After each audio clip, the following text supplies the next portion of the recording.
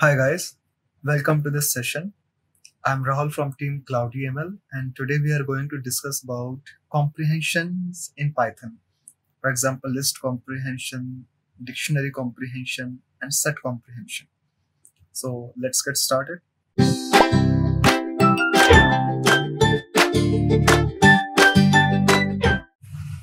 So first list comprehension and this is the syntax. And why we use this? Because through comprehension we can write code in just like one line.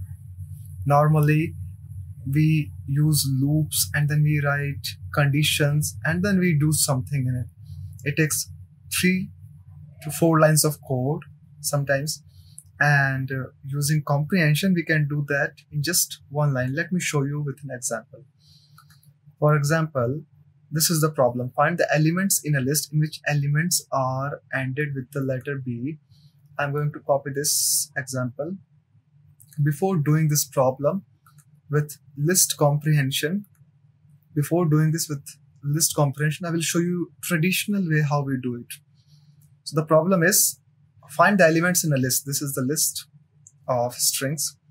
And I need to find elements which are ending with letter B. And here we can see that this is ending with B, this is ending with B, this is ending with B. There are five elements here which is ending with B. And out of those, out of those, I want only, only with having length greater than 2. So what I will do normally, traditionally I will go for, for name and names. And then I will check if the name ends with, if name ends with P, this is the first condition and uh, length of name greater than 2. This is the condition I am keeping and then I will say print. Let's say right now I'm printing. Normally I don't need to, I don't need to print here, but normal first I'm showing you this with printing. These are the elements in this list having both these conditions where all three are ending with B and their length is greater than 2. But I don't want my output like this. I want this output in a list. So what I will do, I will say new names. I will define an empty list and then I will append it here.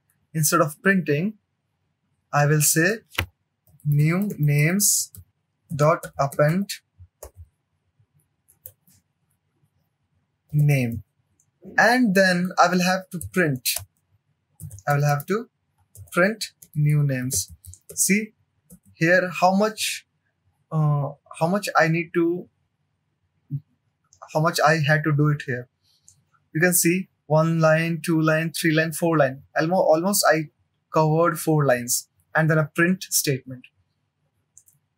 Actually, five also because this list is also ha I'm having it. But the same thing, same thing I can do in just let me show you. I will keep this as it is and then I will say new names new names. See this? This four line will be in only one line. See how? For name in names. You can see here this first line of code. And here I, do, I don't need to use this colon. I'm not going to use this colon. And then I will copy this condition, this. I will copy this condition if name dot ends with and length this. So what I will do, I will just say name here. If this condition is true, I don't need to write this here. Here. For name in names, if name dot ends with b and length is this, I want name here. And then I will simply print new names here. let's see if this does the same job or not. Okay it is also giving me the same output. So you can see these four lines of code become only in one line.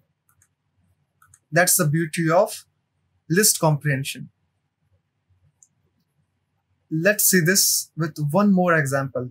Just remember the syntax if there is this if condition like this and you need to append something or something with just one condition you are gonna answer. So first write for and then use if condition and then whatever you want inside if condition will come here. Here you don't need to use dot append. Why? Because i have already defined this list square bracket. So i don't need to append because i'm already saving this here. Here I had to append because I had this empty list outside and then I had to append. Here, I'm already inside. Why do I need to append? So just remember this. This is how it works. Let's see with one more example. I had written this with comment to show you, but I did it anyway. So now next, given a list of numbers, I will show you this also again in, in a traditional way. Given a list of numbers, display the number in the form Okay, I just need to display it using string formatting here.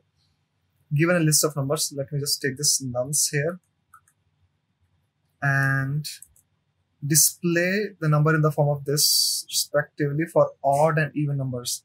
So what I need to do it here, let's say odd, even list first. I'm going to define it empty. So I'm going to do it first traditional way for a num in nums in nums if num modulus because I need to get odd and even thing. If num modulus 2 equal to 0 so I need to append. Dot append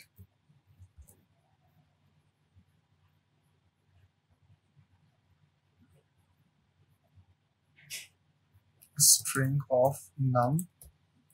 This plus this equal because I want this format okay? So even. If this condition satisfy my number is even. So I will append it like this. Else you will append the same but you will write differently append string of num and then you will just say here odd. Odd. So this is what i'm doing here according to what's given in the question. And then i will simply print odd even list. Now let's print this and see. So you can see that my output is this 3 is odd, 10 is even, 4 is even, 5 is odd, 7 is odd, 6 is even. Everything is, everything looks fine. You can see my output here is similar. No difference. But you can see I had to write so much. But you know, it's readable actually. It's readable. Personally, I don't suggest you write everything in list comprehension because it's not readable. If you give your code to someone to go through it and if he doesn't know about comprehension, then they will having they will be having difficulty in reading the code. You want everyone to read your code easily, but it looks cool sometimes to use this, so you can do it. Now let's do the same thing in one line. Let's do the same thing in one line. So first for num in nums, I'm copying this, but you please write this.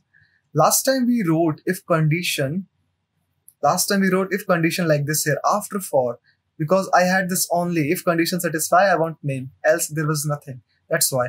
But this time, I am not going to do that. This time, I'm going to say if num is zero, and again remember, again remember, I'm not going to append here. Why? Because I'm already in the square bracket.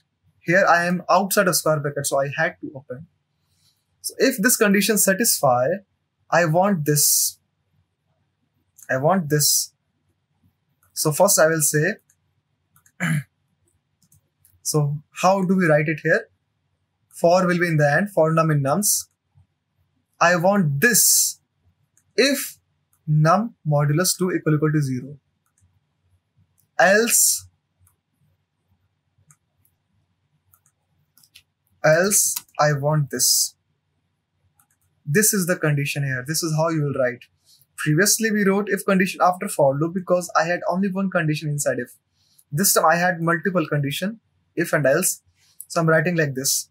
I want this if con this condition satisfy else I want this for num in nums. Now let's run this and see output is still same. That's how it works. Very easy. But if you are feeling some difficulty, it's okay. Just Google more examples. And the main important thing while watching this or while reading code on Google, please, please, please write this and understand. If you have any problem, ask somebody you know. Ask somebody you know who can guide you through it. But Google is your best friend in this condition, trust me. Now let's go to dictionary comprehension. Concept is same. It's just instead of square bracket, you will have curly bracket here. So let me show you. Create a dictionary having the word and its corresponding length for length greater than 5. Else give the length as short. So you can see here when length is less than 5, I'm just writing short. As I'm writing length. That's what I want. This is the output I want. So first I'm going to go traditional way as usual. This is my list of words. So what I am going to do, I'm just going to copy this so that I can show you how we can do it traditional way. I'm going to define here, I'm going to define here empty dictionary. Empty dictionary and I'm going to say for word a, a word in words. for each word for each word. If length of word greater than 5 if length of word greater than 5 words dict words dict word equal to length of word. Else words dict word equal to short. Okay this is the condition. Let's check print words dict so you can see my output is pretty similar. So what I did here, first I created empty dictionary and then I said for each word, for each word in words, for each word in words, so it will loop over around six times. And then for each word, it will check whether the length of that word is greater than five or not.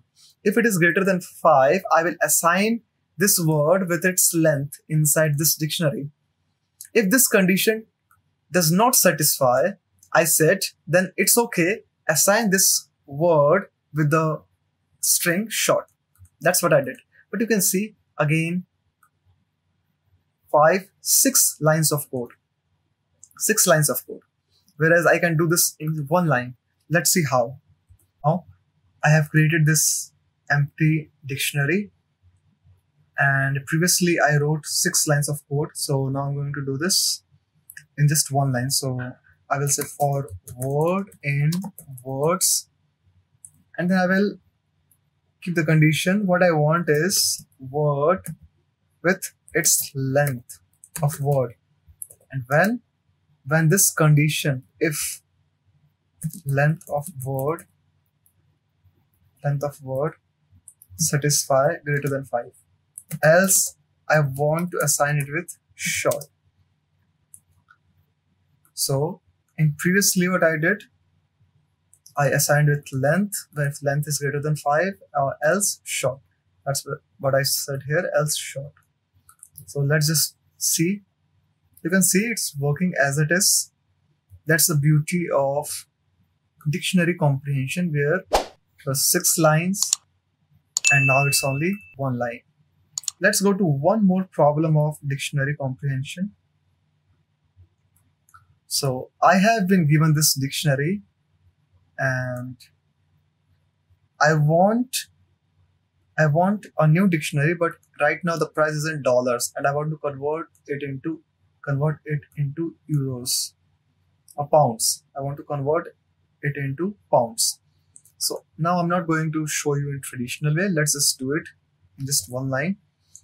And since I have this dictionary, I will say or k comma v which is key comma value in old price dot items i'm going to loop our key and value similarly but i want in the output is k key and i want to multiply right now it's in dollar form so i if i want to convert it into pounds so dollar to pound is one dollar is equal to 0.76 pound so i'm going to say here I'm going to say here V value multiplied dollar to pound.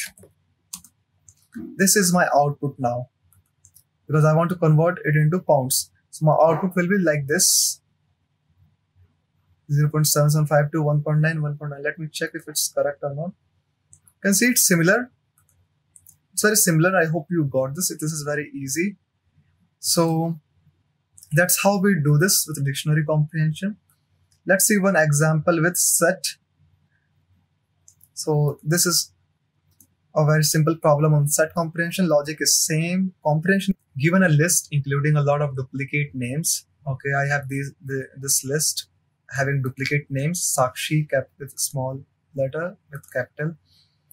Harsh with capital and small. Okay there are names with only single letter uh, with R and J with single letter. What we want is a list that consists of names that are longer than one letter. Means I don't want RJ and have only the first letter capitalized, which is capital capital S with Simran, capital H with Harsh, but it has capital S and H also, and Sakshi with S. That's what I want. I want Simran and Sakshi. So what I'm going to do is, it's very simple. We have done this before for name in names. I want if length of name is greater than 1 and name dot is title consist of names that are longer than one letter and have only the first letter capitalized, then I want those name here. So this is the condition. Let's print it. See, we have Sakshi and Simran. So guys, that's it. That's how it works. Just remember, if there's only one condition, like if where, where there is no else, then it comes after for. But if I need to add else condition also, then for will come first at the right corner and then if will come here as we have seen earlier in previous problem like here for came in the end. First came condition for if and then else and then for. Just remember these things. That's it for this session on comprehensions in python. List set dictionary. Thank you guys